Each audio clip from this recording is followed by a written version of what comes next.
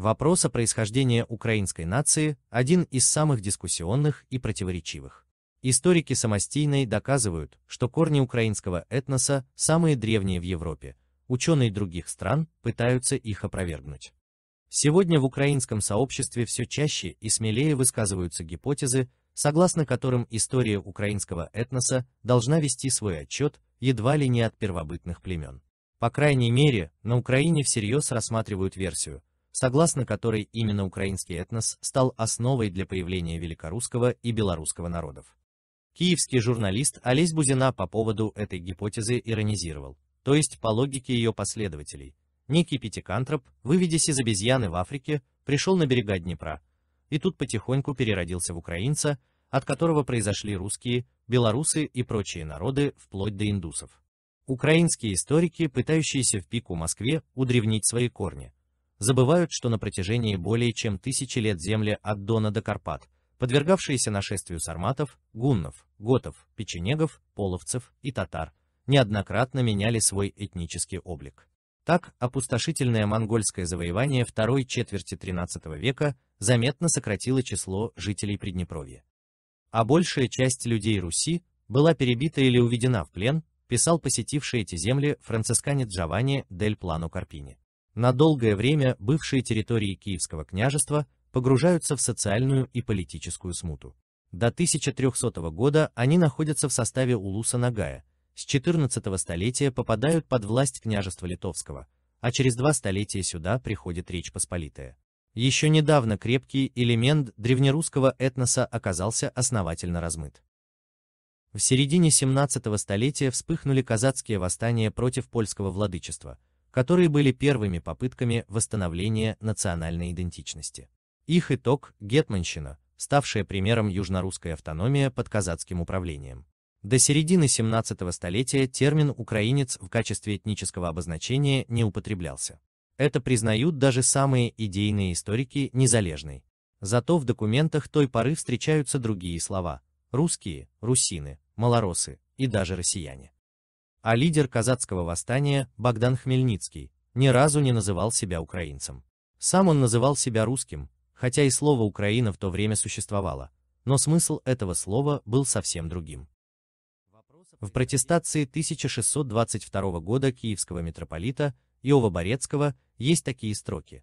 «Каждому всходнёга благочестие народу российского, всем благочестивым церкви, восточное благопослушным великоменитого народу российского всякого, стану духовного и свитского, достоинство побожным людям». А в письме 1651 года Гетмана Богдана Хмельницкого, турецкому султану Мехмеду IV, говорится.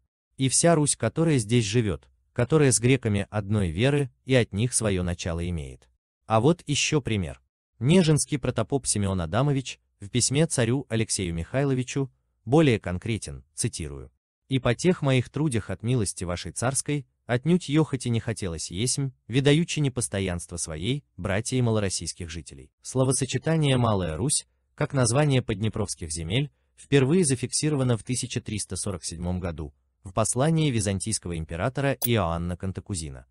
А с термином «Украина» мы впервые сталкиваемся в 1187 году в связи со смертью Переяславского князя, который защищал южные границы Руси от половцев. И в 1213 году. Это дата летописного сообщения о возвращении князем Даниилом Галицким с пограничных с Польшей русских городов. Там, в частности, сказано, Даниил еха с братом и прия Берестий, и Угровеск, и Столпье, Комов и всю Украину. Следующее упоминание слова «Украина» зафиксировано в 1271 году в псковских летописях. В них говорится о селах пограничной с Ливонским орденом Псковской Украины. А в русско-литовских договорах упоминаются украинные места. Однако в летописном контексте, собственно, как и в контексте той эпохи, Украинами именовали различные порубежные окраинные земли в Руси. И если мы взглянем на документы соседней Польши или Литвы, у них мы видим то же самое. Слово «Украина» в словарях того времени определялись как области у края государства. И с развитием интернета все эти документы может проверить каждый, так как они находятся в открытом доступе. Впрочем, в сознании казачьих элит единый этнос, проживающий на территории Малороссии, стал обособляться и противопоставляться соседям уже во второй половине XVII века. Любопытно, что поэт Тарас Шевченко ни в одном из своих произведений не употреблял этноним украинец, а в историческом музее самого Тараса Шевченко можно увидеть его паспорт, где он записан как православный малороссиянин. Вот еще интересный факт. Писатель Иван Франко в своем дневнике записал, «Меня сегодня кровно оскорбили. Меня обозвали украинцем, хотя все знают, что я русин». А в изданной в Берлине в 1925 году брошюре «Украинское движение. Русский эмигрант» и публицист Андрей Стороженко писал, Наблюдения над смешением рас показывают, что в последующих поколениях, когда скрещивание происходит уже в пределах одного народа, тем не менее могут рождаться особи, воспроизводящие в чистом виде предка чужой крови. Знакомясь с деятелями украинского движения, начиная с 1875 года, не по книгам, а в живых образах, мы вынесли впечатление, что украинцы – это именно особи, уклонившиеся от общерусского типа, в сторону воспроизведения предков чужой тюркской крови. А ведь один из самых популярных образов украинского фольклора – казак-лыцарь Мамай. Наглядное подтверждение подобного предположения. Откуда у персонажа народных картинок чисто татарское прозвище? Не является ли он олицетворением Беклербека Мамая, чьи потомки почувствовали формирование казачества на Украине? А слово «казак» имел в древнетюркском языке значение особого взятого обязательства. Это были военно обязанные люди, взявшие на себя обязательство защищать границы государства. В тюркских языках есть распространенная поговорка. Цитирую. «Кто крайний, тот обязан, тот казак». Также известный факт, что на территории современной Украины жили тюркские народы, хазары и печенеги. Слово «майдан» тоже тюркское, например, в Казахстане это слово очень популярно. А в современном украинском языке около 4000 тюркских слов.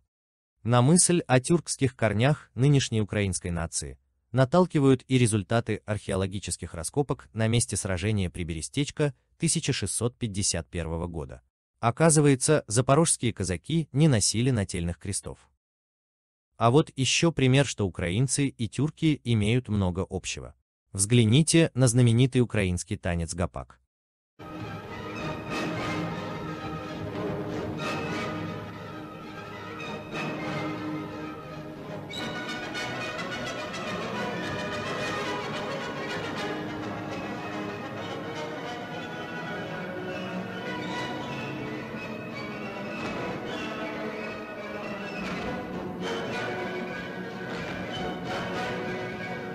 А теперь сравните его с уйгурским танцем под названием Чексис Сама Усули.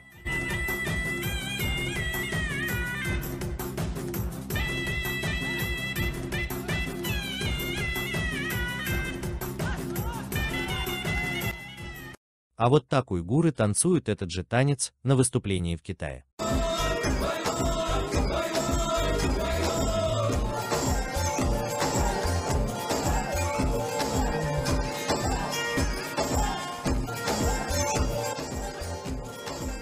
Я думаю, вы заметили, что танцы очень сильно похожи, и похожа даже одежда, в которой они танцуют. Ну а что же говорят генетики?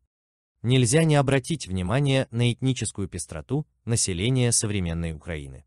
Этнографы утверждают, что печенеги, половцы и татары сыграли в формировании внешности украинцев не меньшую роль, чем русские, поляки или евреи. Генетика в целом подтверждает такие предположения. Подобные исследования провела лаборатория популяционной генетики РАМ, используя генетические маркеры Y-хромосомы, передающиеся по мужской линии, и митохондриальной ДНК по родословной женской линии.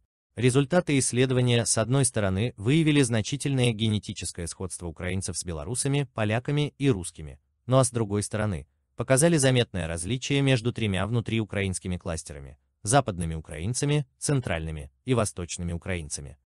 Кстати, знаменитые украинские шаровары, оказывается, тоже не украинские. Это штаны тюркских народов. Вот примеры. Афганские воины-пуштуны их носили задолго до появления украинцев. И точно такие же шаровары носят и турки, и уйгуры. Что же касается автохтонных обитателей территории Украины, то генетика здесь бессильна. Генотипы современных украинцев ничего не могут нам сказать о древней истории населения Украины, признает американский генетик Питер Форстер. А что вы думаете по этому поводу? Почему украинцы так сильно схожи с тюркскими народами? Пишите в комментариях. Всем пока!